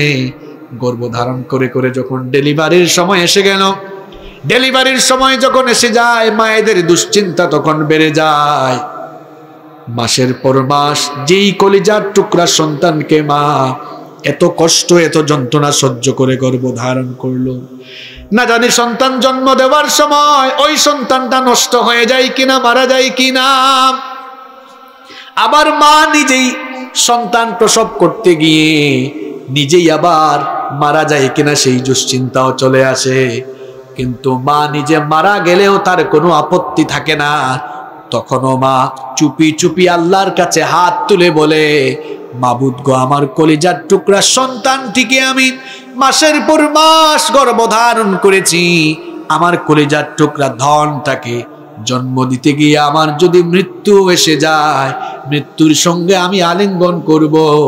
তাও আমার কলিজার টুকরা সন্তানটাকে দুনিয়াতে নিরাপদে নিয়ে আসো। ওই মা এইভাবে করে, তখনও আপনি দুনিয়ায় আসেন নাই, তখনও মায়ের পেটে ছিলেন। মায়ের পেটে থাকাকালীন অবস্থায় আপনার মা চুপি চুপি আপনার জন্য এই দোয়া করেছে, মাবুদ গো, আমার সন্তানটাকে জন্ম দিতে গিয়ে আমার মৌত হলেও হয়ে যাক। আমি কবরে যেতে রাজি, মরতে রাজি তাও আমার সন্তানটাকে তুমি নিরাপদে দুনিয়ায় নিয়ে আসো। যখন ডেলিভারির সময় চলে আসলো, আপনার মা আপনাকে জন্ম দিতে গিয়ে এমন কষ্ট, এমন যন্ত্রণা সহ্য করলেন। বর্তমান চিকিৎসা বিজ্ঞান বলছেন একজন মানুষ সর্বোচ্চ বিশ থেকে পঁচিশ ইউনিট পর্যন্ত ব্যথা সইতে পারে। কিন্তু আমাদের জনম দুঃখিনী গর্ভধারিণী মা আমাদেরকে জন্ম দিতে গিয়ে বিশ আর পঁচিশ নয়, পঞ্চাশ থেকে পঞ্চান্ন ইউনিটের মারাত্মক বেদনা সহ্য করেছে। এই বেদনা কি করে দুনিয়ার মানুষ সহ্য করে? আমি এটা বুঝি না। কারণ আজকের চিকিৎসা বিজ্ঞান বলছে, মানুষ বিশ থেকে পঁচিশ ইউনিটের বেশি ব্যথা সইতে পারে না। তাহলে মা কেমনে আমাদেরকে জন্ম দেওয়ার বেলায় পঞ্চাশ থেকে পঞ্চান্ন ইউনিটের ব্যথা সইলেন আরসের মালিক আল্লাহ আর আমাদের গর্ভধারিণী মা ছাড়া আর কেউ আর কেউ সেই কষ্ট বুঝবে না। এইভাবে মা নিজে কষ্ট সহ্য করে আপনাকে প্রসব করলেন। এই মা আপনাকে প্রসব করার পর আপনি যখন দুনিয়ার আলো বাতাস দেখলেন আপনার কোনো ভাষা ছিল না, মুখে কোনো ভাষা ছিল না। কথা বলতে পারতেন না। ক্ষুধা লাগলেও ভাষা ছিল না বলার যে আমার ক্ষুধা লেগেছে। আপনি শুধু ক্ষুধা লাগলে কান্না করতেন আর কান্নার আওয়াজটা মায়ের কানে পৌঁছালে মা সকল কাজ বন্ধ করে দিয়ে সন্তানকে বুকের সঙ্গে লাগায়া, বুকের সঙ্গে জড়িয়ে ধরে তারপরে দুধ পান করিয়েছে। এইভাবে করে মা আপনি দুনিয়াতে আসার পর আপনাকে বড় করে তুলেছে। মায়ের কুলে কত প্রস্তাব পায়খানা করেছেন, মা কোনোদিন রাগ করে নাই। অনেকের মা হয়তো বুড়ি মানুষ, বয়সের ভারে নজ্জ হয়ে গিয়েছেন বৃদ্ধা মা। হয়তো এই পেন্ডালার নিচে আমার অনেক ভাইরা থাকতে পারেন, যাদের মা এখন বৃদ্ধা, বাবা বৃদ্ধ। মানুষ যখন বুড়া হয়ে যায়, তখন তার মধ্যে অনেক ধরনের সমস্যা চলে আসে। হয়তো অনেকের মা বাবা একা একা ওয়াশরুমে যেতে পারে না, টয়লেট করতে পারে না, নিজের বাবাকে নিয়ে টয়লেটে আপনি যাইতে পারেন না। কেমন নিমুখ খারাম সন্তান আপনি। ছোট্টবেলায় আপনার এই বাপ, আপনার মা আপনাকে প্রস্তাব পায়খানা করিয়েছে। আপনার মা বাবা যদি বিছানা ময়লা করে ফেলে, আপনি আজ সেই ময়লা বিছানার চাদর ধুইতে পারেন না। অথচ আপনার প্রস্রাব করা, পায়খানা করা জামা কাপড় প্রত্যেক দিন আপনার মা ধুয়ে দিয়েছে। হয়তো অনেকের মা বাবা এত বেশি অসুস্থ, বিছানা থেকে উঠতে পারে না। এরকম অনেক মা বাবা বিছানার মধ্যে যদি অসুস্থ হয়ে প্রস্রাব, পায়খানা করে দেয়, অনেক কপাল পোড়া সন্তান আছে, তার নাকে গিয়ে গন্ধ লাগে। তোমার মা বাবার তো নাকে গন্ধ লাগল না। তোমার কেন এখন গন্ধ লাগে? তোমার মা তোমাকে নিয়ে, তোমাকে কুলে নিয়ে খাবার খেতে বসেছিল। মা খাবার খাওয়া অবস্থায়, তুমি মায়ের কুলে পায়খানা করেছ, মায়ের নাকে গন্ধ লাগে নাই। মা তখন খাবারের প্লেটটা রেখে দিয়ে পরিষ্কার করেছে। ওই মায়ের কথা এখন ভুলে গিয়েছ। আর মায়ের কথা আমি কি আর বলব? রাতের বেলা মা যখন সন্তানকে নিয়ে ঘুমায়, গভীর রাতে শীতের কনকনে, ঠান্ডার রাতে সন্তান প্রস্রাব করে বিছানা ভিজিয়ে দিয়েছে। ডান পাঁচটা সন্তান ভিজিয়ে দিয়েছে। গভীর রাতে মা ঘুম থেকে উঠে সন্তানের কাপড় চেঞ্জ করেছে। চেঞ্জ করে দেখল ডান পাশটা ভিজা। এই ডান পাশটায় ভিজালে সন্তান আরাম করে ঘুমাইতে পারবে না। এই জন্য সন্তানকে এবার সাইড চেঞ্জ করে বাম সাইডে শুইয়ে দিল। কিছুক্ষণ পরে যখন সন্তান বাম সাইডটাও প্রস্তাব করে ভিজিয়ে দিল। মা আবারও ঘুম থেকে উঠে কাপড় চেঞ্জ করে দিয়ে এখন দেখতেছে ডান পাশও ভিজা, বাম পাশও ভিজা। কোন পাশে শোয়াবে? বা তখন নিজের যেই জায়গায় ঘুমিয়েছিল, নিজের সেই উষ্ণ জায়গায় সন্তানকে ঘুম পাড়ায়া ওই প্রস্রাব করা সিক্ত জায়গায় মা এবার ঘুমায়। কিছুক্ষণ পরে যখন সন্তান মায়ের ওই জায়গাটাও প্রস্রাব করে ভিজায় দেয় মা সন্তানের কাপড় চোপড় চেঞ্জ করে দিয়ে এবার দেখল সব তো একেবারে ভিজিয়ে ফেলেছে। গোটা খাট, গোটা বিছানা প্রস্রাব করে ভিজায় ফেলেছে। সন্তানটাকে কেমনে ঘুম পাড়াবে? সন্তানের যেন কষ্ট না হয়, মা নিজে প্রস্রাব করা ভেজা জায়গায়, শীতের ঠান্ডা রাতে প্রস্রাব করা জায়গায় নিজে শুয়ে নিজের সন্তানটাকে মায়ের বুকের উপরে আরাম করে ঘুম পাড়িয়েছে। এটা সুবহান আল্লাহ বলার ওয়াজ না। এটা মায়ের, মা আপনাকে কি কষ্ট, যন্ত্রণা সহ্য করে আপনাকে বড় করেছে সেটা মনে করিয়ে দেওয়ার ওয়াজ। সামান্য একটু ঠান্ডা লেগেছে আপনার, জ্বর হয়েছে, কাশি হয়েছে, সর্দি হয়েছে। সবাই ঘুমায়, আপনাকে নিয়ে কেউ টেনশন করে না। আর আপনার জনম দুঃখিনী মা। আপনাকে সেবা করার জন্য, আপনাকে দেখাশোনা করার জন্য সারাটা রাত না ঘুমিয়ে আপনার পাশে বসে থেকেছে। এটা আপনার সেই মা। সামান্য একটু ঠান্ডা লাগলে আপনার বাবা আপনাকে নিয়ে মেডিকেলে দৌড়াইছে, হসপিটালে গিয়েছে। কপালপুরা অনেক ছেলেরা আছে, তার বাপ অসুস্থ, দিনের পর দিন অসুস্থ। বাপকে নিয়ে হসপিটালে যায় না, চিকিৎসা করায় না, এরকম আছে না নাই? তোমার বাপ তো তোমাকে ছোট্টবেলা একটু অসুস্থ হইলেই ডাক্তারের কাছে নিয়ে গিয়েছে। আজ তোমার বাবা অসুস্থ, তাকে কেন চিকিৎসা করাও না? মা অসুস্থ, চিকিৎসা করায় না। মা বাবার খোঁজখবর নেয় না। আমার যুবক ভাইদেরকে বলছি, শোনো, রাতের বেলা যখন বাড়িতে যাবা, বাড়িতে গিয়ে সবার আগে নিজের মা বাবার রুমে ঢুকবা। বাবা বুড়ো মানুষ, রাতের বেলা ঘুমাইতে পারে না, মাথা কেন কেন করে নিজের বাবার মাথার পাশে বসে মাথাটা টিপে দাও। মাথা টিপে টিপে ঘুম পাড়িয়ে দাও। ছোট্টবেলায় এই বাবা মা কিন্তু আপনাকে মাথায় হাত বুলিয়ে গল্প শুনিয়ে শুনিয়ে ঘুম পাড়িয়েছে। এখন সেই বাবাকে, মাকে পাশে গিয়ে বসে গল্প করে করে ঘুম পাড়িয়ে দাও। ছোট্টবেলায় এই মা বাবা মুখে তুলে খাইয়েছে। এখন ওই মা বাপকে আপনি মুখে তুলে খাইয়ে দেন। মা বাবার কাপড় চোপড় ধুয়ে দেন। বাজার থেকে যাওয়ার সময় কমলা কিনে নিয়ে যান, আঙ্গুর কিনে নিয়ে যান। নিজের হাতে ছিলে মা বাবার মুখে তুলে খাইয়ে দেন। মা বাপ যদি একটু খুশি হয়ে মুচকে হাসি দেয়, আল্লাহর কসম, আল্লাহর আরস আপনার উপর খুশি হয়ে যাবে। এক সাহাবি এসে বললেন নবী গো আমি জিহাদে যেতে চাই। নবীজি বললেন হাল্লা কামিন উম্মিন। তোমার ঘরে কি মা আছে? সাহাবি বললেন নাম। আমার মা আছেন। নবীজি বললেন যেহেতু তোমার মা আছে ঘরে ফিরে যাও। ফালজিমহা ফাইনাল জান্নাতা তাহতা রিজলিহা ঘরে যাও তোমার মায়ের খেদমত করো কারণ তোমার মায়ের পায়ের তলায় তোমার বেহেশত রয়েছে। সুবহানাল্লাহ। তাহলে পাঁচ নাম্বার পয়েন্ট কি বললাম? মা হিসাবে ইসলাম নারীকে মর্যাদা দিল। ছয় নাম্বার পয়েন্ট কষ্ট হচ্ছে আপনাদের? সাতটা পয়েন্ট আছে, ছয় নাম্বার চলতেছে ছয় নাম্বার পয়েন্ট মা কেবল এই মা হিসাবেই মর্যাদা দিয়ে ইসলাম এতটুকুতে স্টপ করে নেই। এবার ইনহেরিটেড প্রপার্টি উত্তরাধিকার সম্পদেও ইসলাম নারীকে মর্যাদা দিল। আমাদের দেশে অনেক বাবারা আছেন, মেয়েদেরকে সম্পদে ঠকায়। আছে এরকম? ছেলে আছে চারটা, মেয়ে আছে দুইটা। তাহলে চার দুই কত হইল? আপনারা শতক বুঝেন ডিসিমেল বুঝেন, গন্ডা বুঝেন, কানি বুঝেন না কি বুঝেন? শতক বুঝেন তো? আচ্ছা। জায়গা আছে বিশ শতক, ছেলে আছে চারটা, ছেলেদের মধ্যে ভাগ করে দেয় চার পাঁচা বিশ। আর মেয়ে দুইটা জিরো কিছু দিল না। বিয়ের সময় কয়, মাগো, তোরে তো কিছু দিতে পারলাম না, আব্বু তোরে দোয়া দিলাম। কি দিছে? বোনটাও তো শুনতেছে, তাই না? বোনটা বলবেন, আব্বু, দোয়া লাগবে না, জিনিস দেয়া দেন। আপনারা ঠিক বললেন, আপনারাও দিয়েন, যদি না দেন, মনে রাখবেন, পাঁচ ওয়াক্তের নামাজি হবেন তাহাজুদ গুজারি হবেন, কাবা শরীফে গিয়ে হজ করবেন, আর মেয়েরে যদি ঠকাইয়া দুনিয়া থেকে যান, কিয়ামতের দিন আপনি জালেম হয়ে আল্লাহর সামনে দাঁড়ানো লাগবে। জালেম হতে চান আপনারা? মেয়েদেরকে ঠকাইতে পারবেন না। এরপরে আসেন নাম্বার সেভেন সাত নাম্বার। ইসলাম নারীকে অর্থনৈতিক ক্ষেত্রে চাকরি বাকরির ক্ষেত্রে অধিকার দিয়েছে।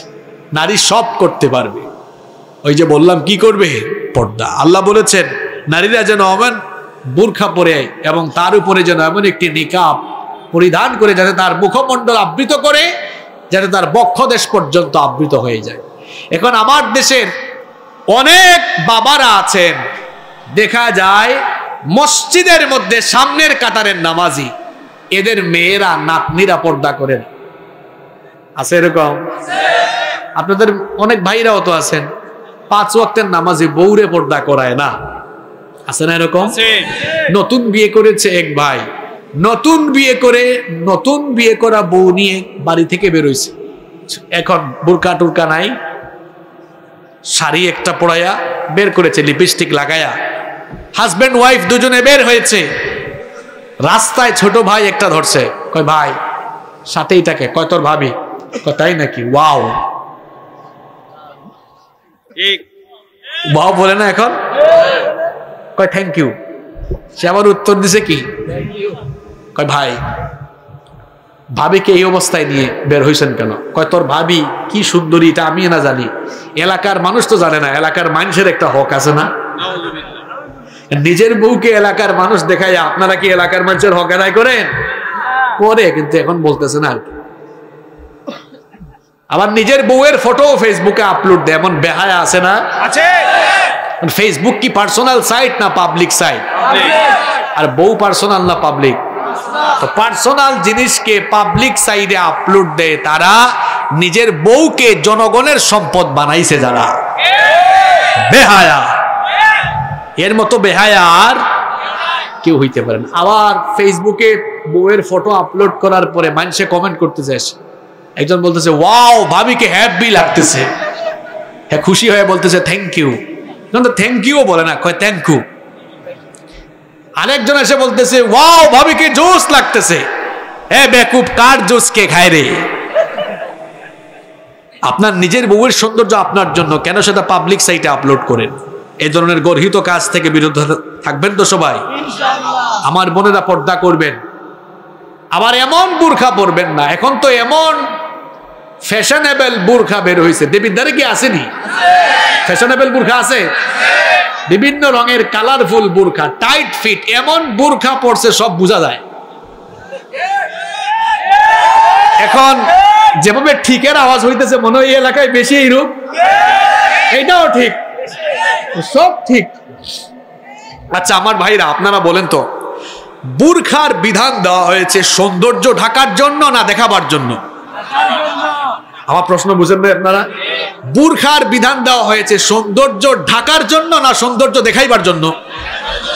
তো যেই বুরখার বিধান দেওয়া হয়েছে সৌন্দর্য ঢেকে রাখবার জন্য, এখন ওই বুরখাই যদি সৌন্দর্য প্রকাশ আর আকর্ষণের মাধ্যম হয়ে যায়, তাহলে বুরখাইটা পরার আর কি দরকার?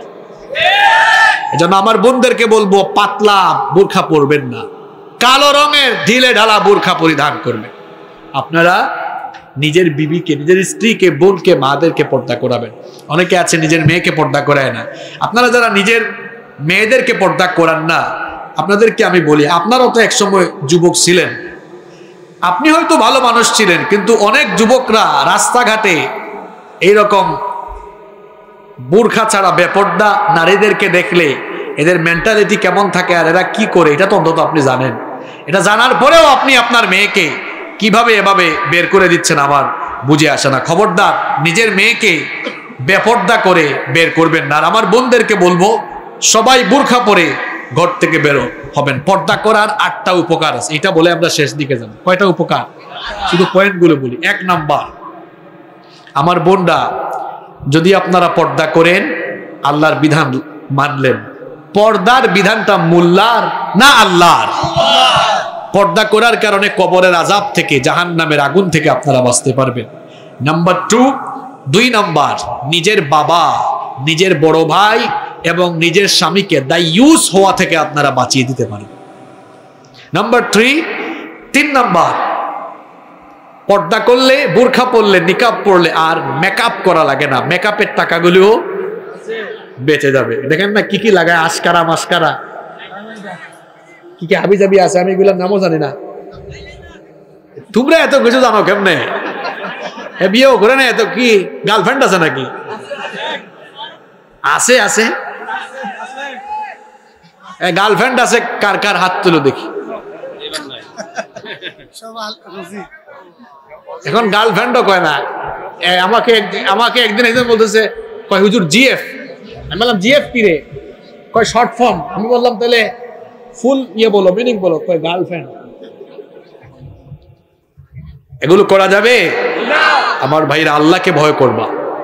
আল্লাহর কাছে নেককার জীবন সঙ্গে চাইবা। পারবা তো ইনশাল্লাহ তাহলে পর্দা করার তিন নাম্বার বেনিফিট হলো মেকআপও করা লাগে। চার নাম্বার পর্দা করলে সম্মানিত হওয়া যায়। এই যে মুস্কান নামের এই মেয়েটা পর্দা করার মাধ্যমে আজ গোটা দুনিয়ায় সম্মানিত হয়েছে না অসম্মানিত হয়েছে? পর্দার মাধ্যমে কি হয়ে যায়? সম্মানিত হওয়া যায়। নাম্বার ফাইভ পাঁচ নাম্বার পর্দা করলে আপনি মানুষের কুনজর থেকে বাঁচতে পারবে বেপর্দা হয়ে চলাফেরা করবেন অনেক ছেলেরা বদনজর দিবে। অশ্লীল অসংলগ্ন কমেন্ট আপনাকে নিয়ে তারা করবে। এটা থেকে আপনি বাঁচতে পারবেন। নাম্বার সিক্স ছয় নম্বর আপনি পর্দা করার কারণে আপনার পেট থেকে আসা সন্তানগুলো পর্দাশীল হবার সম্ভাবনা আছে। নাম্বার সেভেন সাত নাম্বার আপনি পর্দা করে চলার কারণে আমার অনেক যুবক ভাইরা গুণা থেকে বেঁচে যাবে। নাম্বার এইট সর্বশেষ হচ্ছে সমাজ এবং দেশের মধ্যে নিরাপত্তা আসবে আপনিও নিরাপত্তা পাবেন। সবাই পর্দা করাবেন তো নারীদেরকে? তাহলে আজকে নারীর অধিকার নিয়ে কথা বললাম। কয়টা পয়েন্টের আলোকে? সবাই বলেন, কয়টা? সবাই বলেন। মনে রাখছেন তো?